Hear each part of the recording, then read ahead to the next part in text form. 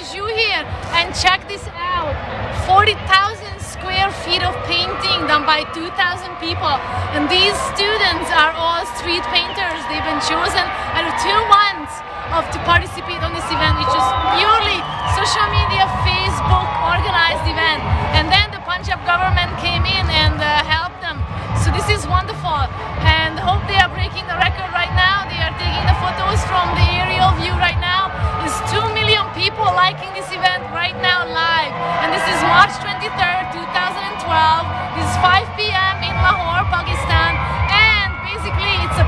social media events. So thank you.